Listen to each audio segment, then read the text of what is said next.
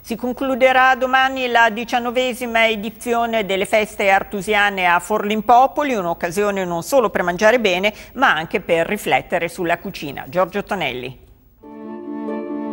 Chissà cosa direbbe Pellegrino Artusi di questi tempi fatti di cuochi trasformati in star, di cucina stellata e televisiva. Lui che era un cultore della cucina popolare italiana, familiare ed affettiva. Ed anche su questo si sono interrogati alla diciannovesima festa artusiana Forlimpopoli, città natale del padre della cucina italiana.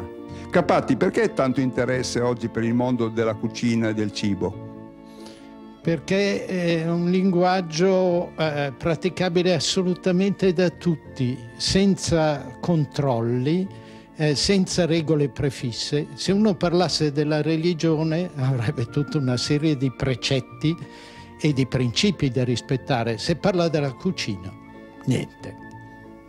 Dove va a suo parere la cucina italiana? Se io la guardo da fuori dall'Italia, eh, vedo che sta schiacciando qualsiasi altro tipo di cultura culinaria.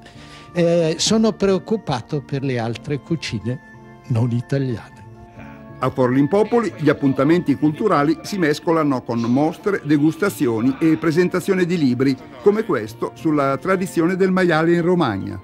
Dai salumi ai cotechini, alla salsiccia matta, ai prosciutti, alle cotiche, alle coste, a, a, alle ossa, ai piedi, le zampe. Tante le ragioni per esprimere gratitudine al caro vecchio porco.